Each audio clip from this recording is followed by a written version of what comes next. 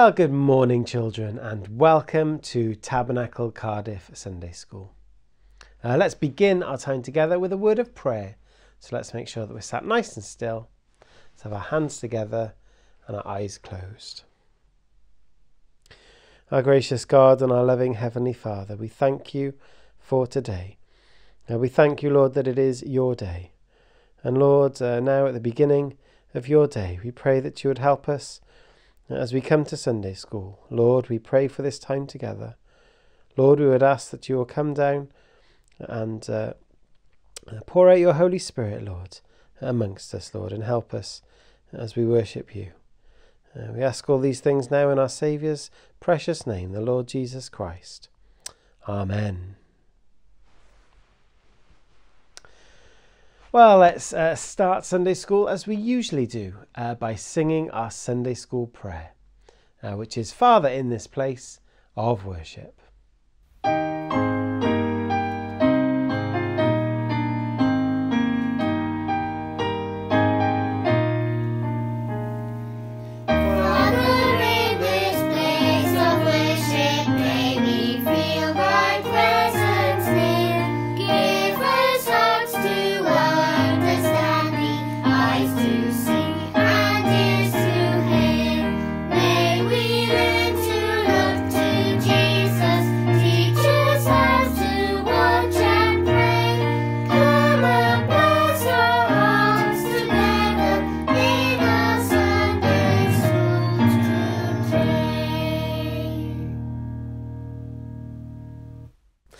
Well, let's remind ourselves now, shall we, what we looked at in Sunday school uh, last week.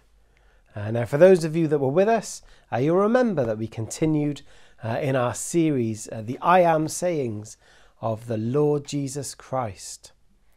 Uh, now, can anybody remember the saying that we looked at last week? Okay, I'll give you a, couple of clues. Um, it involved sheep and uh, there might be a clue somewhere around here. Okay, that's right.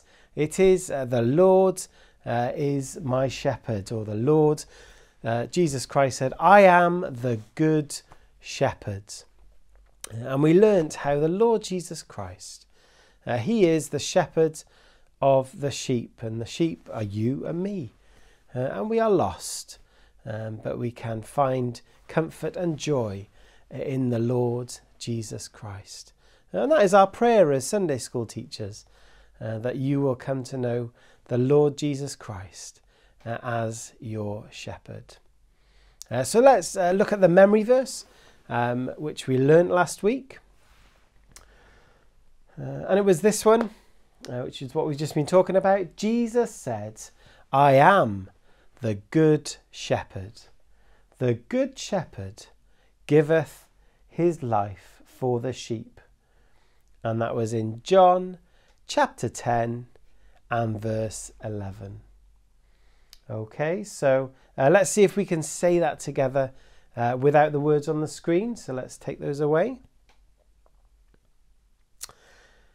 Say it with me, I'll say it slowly. Jesus said, I am the good shepherd. The good shepherd giveth his life for the sheep. John chapter 10, verse 11. Well, let's just uh, bring that back up onto the screen now uh, and see that that's uh, okay. And there you can see our Instagram uh, post in front of us, and we've got there uh, the sheep, haven't we? Uh, that's you and I um, and uh, our verse there, which says, uh, Jesus said, uh, I am the good shepherd. Uh, the good shepherd giveth his life for the sheep.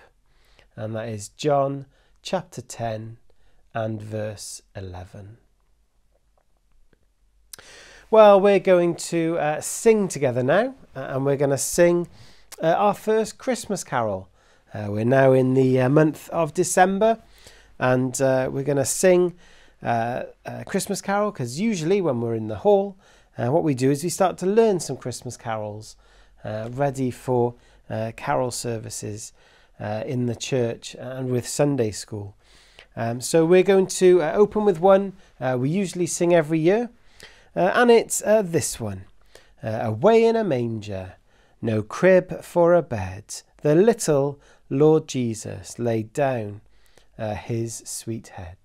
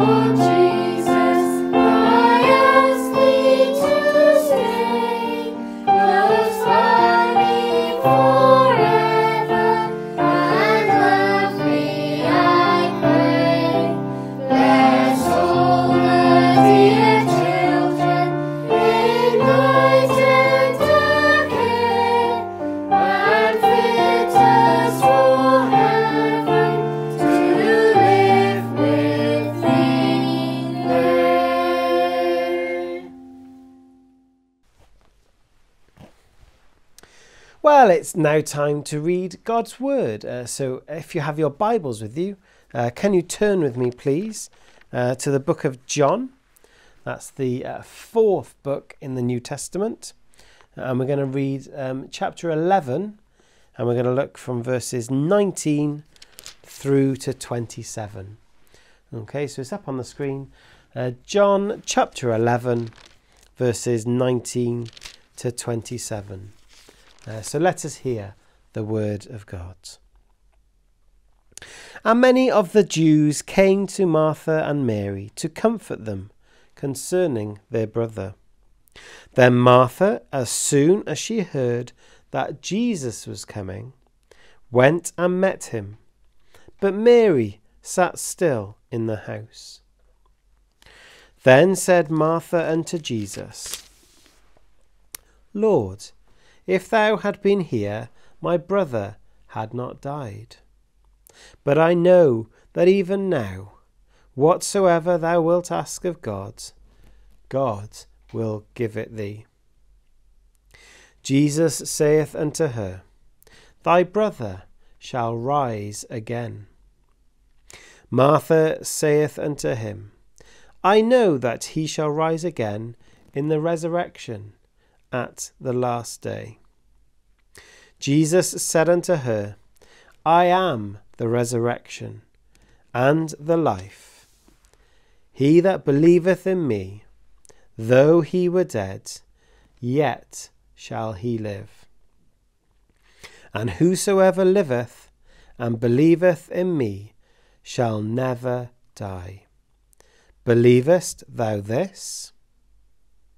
She said unto him, Yea, Lord, I believe that thou art the Christ, the Son of God, which should come into the world. And may God bless to us that portion of his words. Well, let's now come to our Heavenly Father uh, in prayer. So let's make sure that we're sat nice and still, that we've got our hands together and our eyes closed. Our gracious God and our loving Heavenly Father, Uh, we thank Thee that once again we can come to Thee uh, in prayer. Uh, we thank you, Lord, that uh, Thou art God, that Thou art our Creator and our Maker, and that uh, you do know all things uh, concerning us. Lord, we thank Thee for your word that we have just read, and for those great words I am the resurrection and the life. And Lord, we do ask and pray now for our lesson. Lord, we pray that you might help us to understand uh, what these words mean. And Lord, we pray that you might give us uh, listening ears, Lord. Uh, help us to have concentrating minds and uh, understanding hearts, we pray. Lord, we ask your blessing upon us wherever we are, and draw near to us now, Lord. For we ask all these things in our Saviour's name, the Lord Jesus Christ. Amen. Well, before we uh, come to today's lesson, we're going to sing again. Uh, and we're going to sing our second carol. Um, it's uh, one we've learnt over the last few years in Sunday school, uh, one that's become a bit of a favourite of some of the Sunday school uh, children, uh, and it's this one. Glory to God, the angel said, Good tidings, lo, I bring. In David's city is a babe, your Lord and Saviour King.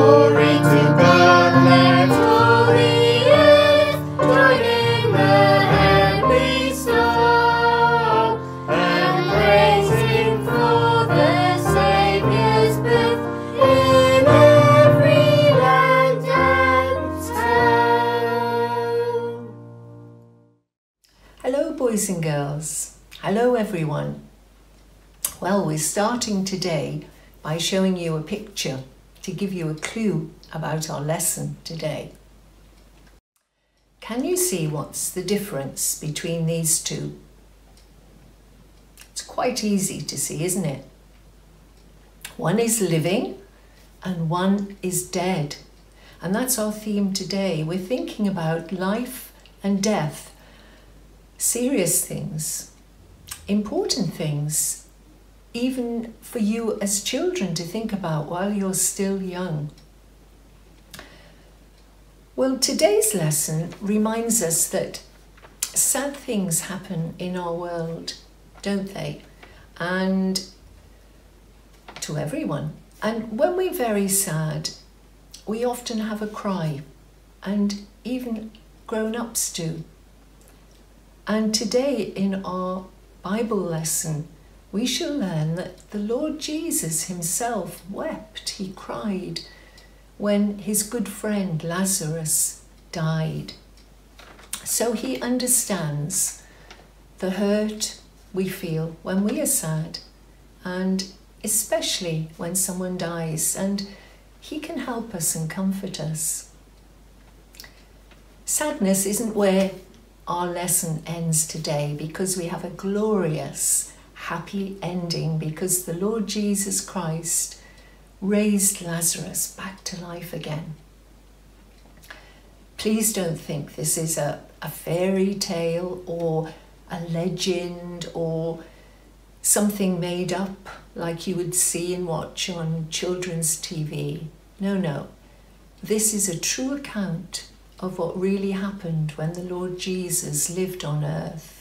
And it's recorded in the Bible for us to learn from and to believe. It's a true account. And we know the Bible is God's Word.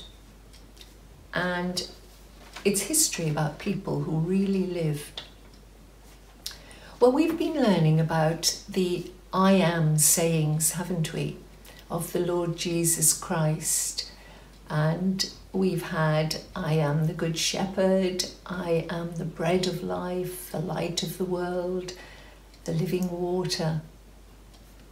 And I wonder have you realized that each time the Lord Jesus says, I am, he's also saying to us, I am God. I am that I am. And he's showing us more of what he's like, his character, with each of these I am sayings. And today is one of the greatest of the I am sayings. The Lord Jesus Christ said, I am the resurrection and the life. What a statement he made. Resurrection means coming alive again, being raised to new life. And that's what Jesus is promising here new life in Him. What a kind, loving, caring Heavenly Father we have, who's told us all we need to know about life and about death in the Bible, so we can be certain of these things. Here's an important question. I wonder, do you know the answer? Where did death come from? Where did death come from? Do you remember that when God made Adam the first man on earth, there was no death? God breathed life into him, the breath of life, and Adam became a living soul he wasn't meant to die. God gave him life and warned him not to disobey God's instructions. If he did, then he would die. And you remember what happened. Adam and Eve chose to disobey God. They didn't do what God had said. And so death came into our world. So, where did death come from? Death comes from sin and disobedience to God. And Adam's soul died when he sinned. No more friendship with God, and his body started getting older from that day. And one day, in time, he would die physically too. So, everything in our world has been spoiled by sin. And so are we. We are spoiled by sin too. Our world is beautiful in many ways, but it's because of sin that we have wars and suffering and sadness. Oh, so many sad things. Have you ever thought about this? That no one has ever had to teach you how to be naughty, how to be badly behaved. You know it already. It comes naturally to you. Your mum and dad have never had to sit you down and say, now this is how to get angry on the inside and have a temper tantrum. Or this is how to sulk when you want your own way. Or this is how to answer back and be rude or to quarrel with your brother and sister. No, no. Even the youngest child knows how to do these things. We are naughty, we do bad things because we are sinners. Do you remember our Ten Commandments series we did last year? It's one of my favourite series, and we all enjoyed it, didn't we? Learning about God's rules for life, and then we had our prize giving, and many of you earned your Ten Commandments plaque for memorizing all of those commandments. I hope you still remember them and look at them often. Well, they remind us, don't they, that we've broken all God's good rules for life and it will keep us out of heaven. Our sins will keep us out of heaven and far away from God's love and kindness. And God will judge us according to these rules. So, whatever can we do with our sins? Who can take our sins away? Have you ever felt and thought like that? I hope you know that there's only one person who can take away our sins and make us ready for heaven, and that's the Lord Jesus Christ. Do you remember that hymn? We sing it sometimes in Sunday school. He died that we might be forgiven. He died to make us good, that we might go at last to heaven, saved by his precious blood. There was no other good enough to take away our sin. He only could unlock the gate of heaven and let us in. Ah, it was the price of sin. He only, there was no other good enough to pay the price of sin. What a price! He only could unlock the gate of heaven and let us in. The Lord Jesus Christ took our punishment of our sins so we needn't be shut out of heaven. How wonderful that is. Put your trust in him, boys and girls. Put your trust in him. He died, he rose again, he defeated death, and he's proved he's the true and living way to God. Well, the account of Lazarus, Jesus' friend, uh, shows us this very clearly. Let's think about Lazarus he was very ill, wasn't he? And yet the Lord Jesus didn't hurry to visit him or make him better. And Mary and Martha were the sisters of Lazarus, and they were hoping Jesus would come quickly, but he didn't. And then Lazarus died. And later on, Jesus did arrive and was moved to tears uh, when he saw Mary and Martha and a great crowd of people who were mourning and comforting them. Everyone was sobbing and crying. Imagine the sadness there. And the Lord Jesus was moved to tears as he saw the sadness of people. And yet, Mary and Martha and this crowd of people were going to see an amazing miracle because this is what the Lord Jesus had planned. This is why he had delayed and put off coming. The Lord Jesus said to Martha, I am the resurrection and the life. He that believeth in me, though he were dead, yet shall he live. Well, it's one thing to say it, isn't it? But the Lord Jesus also proved it was true because he brought Lazarus back to life after four days of being dead. Do you know this account? Do you remember what happened? How they all go to the cave where Lazarus was buried and the Lord Jesus tells them, the people, to take the stone away from the entrance, a large stone that covered the entrance. And then the Lord Jesus prays to God in heaven. And finally, he cries out with a loud voice Lazarus, come forth. Lazarus, come out.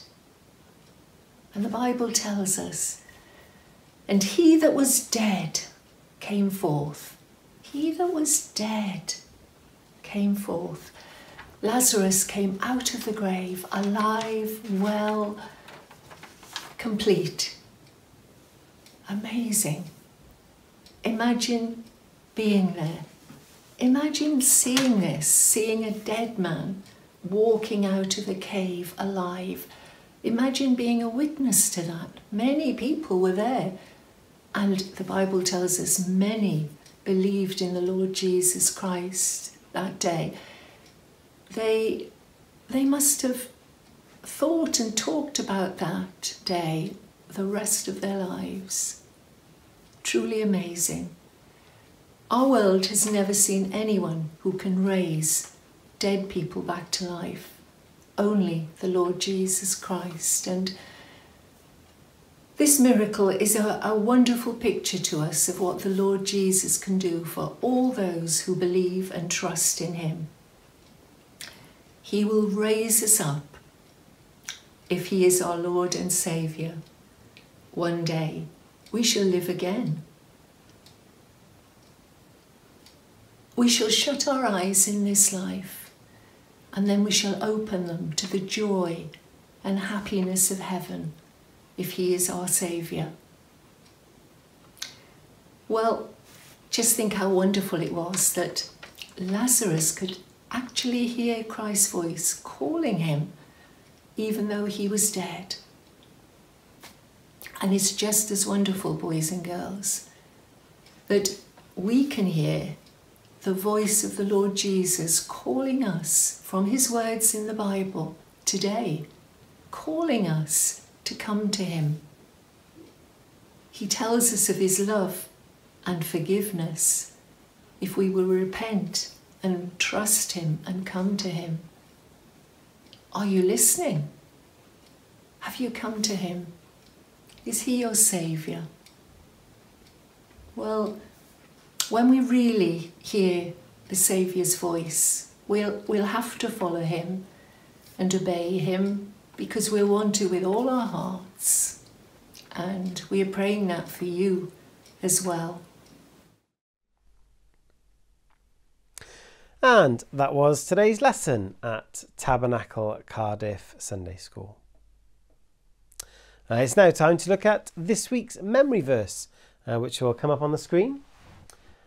Uh, and it's uh, this one, it was in our reading earlier. Jesus said, uh, I am the resurrection and the life.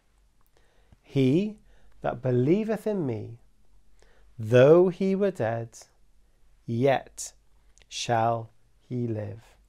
And that's in John chapter 11 and verse 25. Uh, so I'll say it again a, a bit slower, so uh, say it with me. Jesus said, I am the resurrection and the life. He that believeth in me, though he were dead, yet shall he live. John chapter 11, verse 25. Well, let's uh, take some time now to look at uh, the take home sheets uh, for this week. Um, we'll uh, see that they're in the two usual places. You can download them in the two usual means, uh, either by clicking on the link uh, with this video in the description box, or by going to the homepage of the church website, which is tabernaclecardiff.org. And as usually mentioned, um, we're more than uh, you're more than welcome to send your take-home sheets to us at Tabernacle Cardiff Sunday School at gmail.com.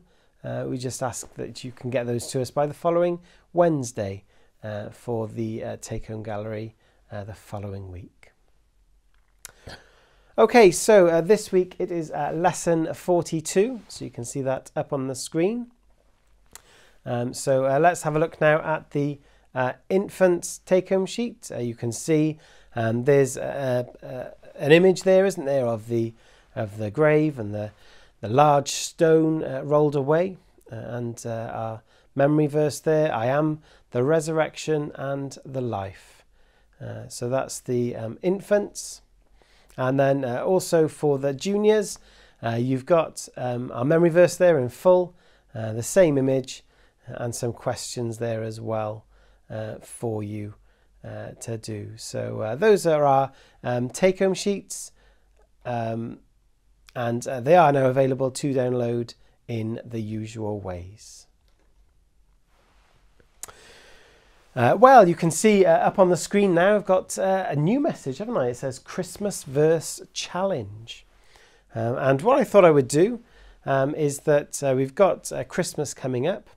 And uh, in the same way that we did with the But God challenge, um, I've, we've, we've produced a verse, a Christmas verse. I'll give that one to you shortly. Um, and we're going to put it up so that you can colour it in. And um, for the older ones, you can design um, your own uh, drawings behind it, um, and then we'll do a gallery then in the new year of all your entries. Um, so it's Luke chapter 2. Uh, you can see now coming up uh, on the screen. Uh, this is uh, our verse, and it's uh, verse 11, um, and it reads like this For unto you is born this day in the city of David a Saviour, which is Christ the Lord and that's Luke chapter 2 and verse 11. Uh, okay, so in the same way uh, that you do the take home sheets, um, there will be a downloadable um, uh, verse outline uh, for the younger ones to colour, um, and the older ones, they're welcome to use that or create their own uh, as they did. But I'll put some more instructions uh, on the website so that you can read them there. Uh, so uh, I'd be looking to get this uh, in not this Wednesday, but the following Wednesday, um, so that we can then do a gallery then uh, later on. Okay, so that's uh, your Christmas verse challenge for this year. So I look forward to seeing um, those entries.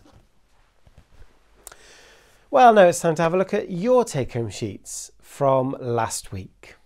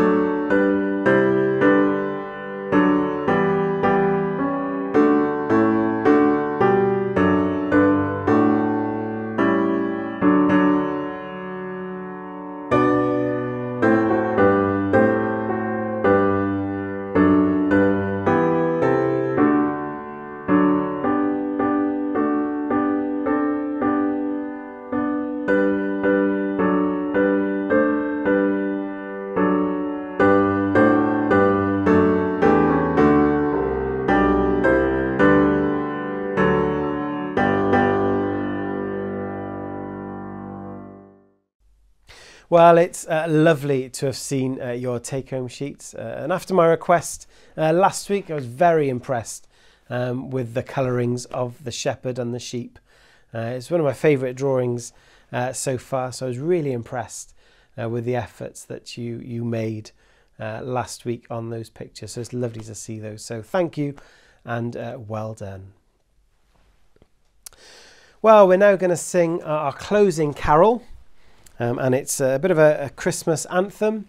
Um, it's Hark the Herald Angels Sing, Glory to the newborn King, Peace on earth and mercy mild, God and sinners reconciled.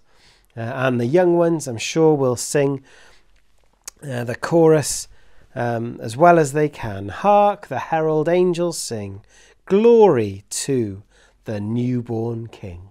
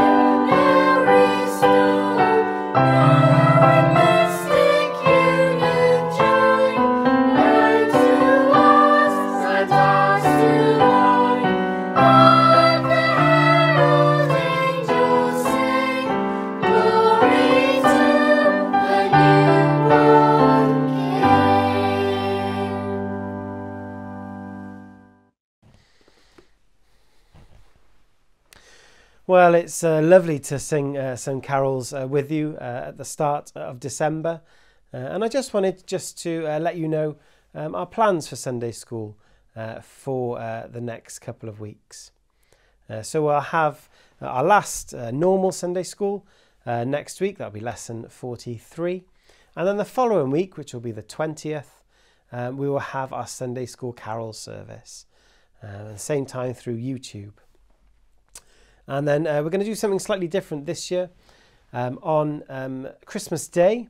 Um, so there won't be any Sunday school on the 27th, but we'll bring it forward to Christmas Day. We're going to have a Sunday school uh, Christmas Day uh, carol service. Uh, so that'll be lovely um, to uh, have that uh, on that day as well. So we trust that you'll be able to join us for these um, Christmas services coming up. we'll then return for lesson 44 uh, in January, uh, on January the 3rd, I believe if uh, memory is, is correct. Um, and then we will uh, resume our series on the I am sayings. Um, so I will put some details um, in the description box uh, and also on the website um, about our schedule, but that was just to uh, let you all know what's going to be happening. Well, it's been lovely uh, to have you with us uh, here today at Tabernacle Cardiff Sunday School. Uh, and I trust it's been a blessing to you too uh, to be with us here at Sunday School. Well, let's uh, draw our, let's bring our time together to a close. Um, so let's make sure that we're sat nice and still, have our hands together, and let us pray. Our gracious God and our loving Heavenly Father, uh, we thank you uh, that once again we can come to Thee in prayer. Uh, we thank you, Lord, that uh, it is your day and that, Lord, uh, you have uh, been with us here today in Sunday school. we thank you for what we have learnt. We thank you that you are the resurrection and the life. we thank you, Lord, that you are the only one that can give true life. And we pray um, for all the children, Lord. We pray that you might uh, make your face known to them, show them the need of a Saviour, Lord. And we trust and pray, Lord, that uh, they might know uh, you as uh, their good shepherd, Lord, and that they might uh, know you as their personal Saviour. Lord, be with us wherever we are. draw near to us, we pray. Keep us safe through this week, Lord, and bring us back safely to Sunday school uh, next week, God willing. For we ask all these things in our Saviour's name, the Lord Jesus Christ. Amen.